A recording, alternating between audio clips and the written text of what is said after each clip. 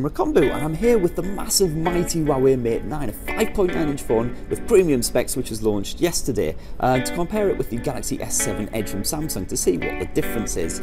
Well as you can see there's a bit of a difference in terms of dimensions. Uh, the 5.5 inch S7 Edge used to feel rather big but now it feels quite compact in comparison to the mighty Mate 9. So you can see it's uh, a little bit smaller in stature, certainly thinner uh, but when it comes to the actual uh, thickness of the phone it's about the same as you see there. Um, so that's quite impressive considering the, the, size of this beast here, the Mate 9. Uh, the S7 Edge has a, an edge, haha, over the Mate 9 in that it's water resistant, which is nice. It's also suitably rugged. We've had this for about six months now. As you see, there's not a scratch or a dent on it. It's very, very solid indeed. The Mate 9 also feels nice and rugged with this little aluminium finish as well, though. So, uh, no flex or weak points in it. Very, very solid indeed, and a nice heft to it as well.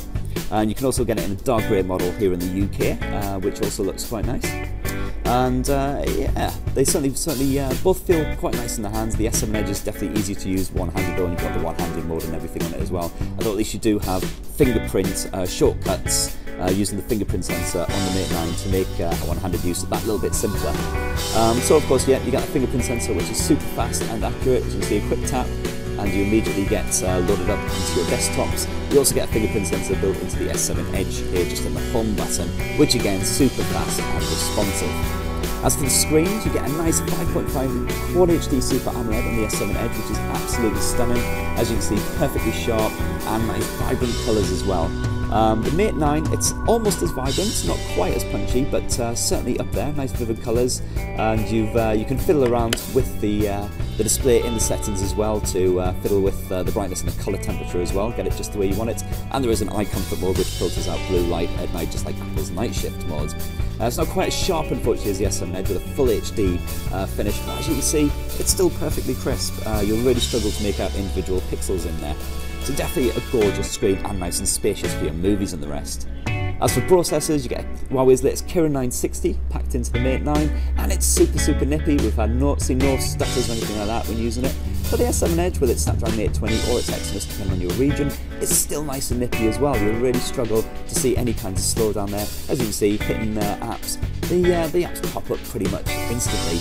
Um, there's maybe a slight delay on the S7 Edge compared to the Mate 9, but nothing that noticeable. And it should stand the test of time quite nicely.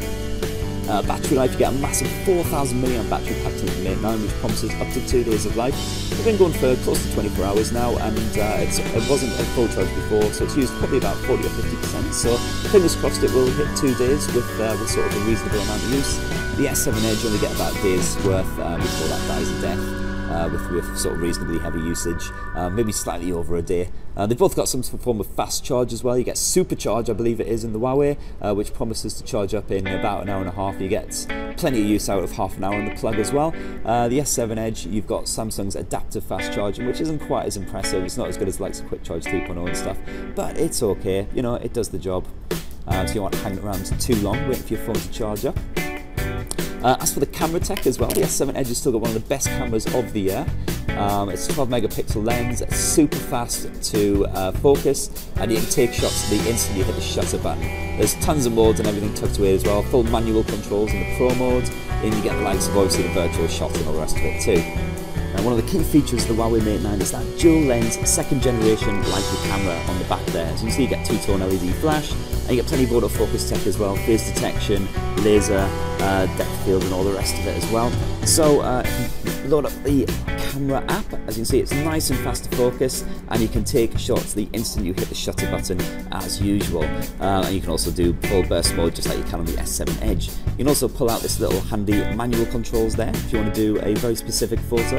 You can push that away again to get back to auto mode. And with a quick flick, there's also tons of various modes, uh, just like there is in the S7 Edge. Uh, so the likes of HDR and of course uh, Huawei's very uh, trademarked light painting mode now. Uh, so flip back to auto mode there, and you can shoot full uh, 4K footage on this just as you can on the S7 Edge as well, with full optical image stabilization. So hopefully your home movies and your photos should look nice and sharp and detailed. We're going to do a full Huawei Mate 9 camera review, uh, so stay tuned for that, and we'll do a comparison with the S7 and the S7 Edge, and all the other big smartphone cameras of 2016 as well. So that in a nutshell, very briefly, is the S7 Edge versus the Huawei Mate 9. Um, let us know in the comments below which one you would pick. And thanks for watching everyone. Cheers.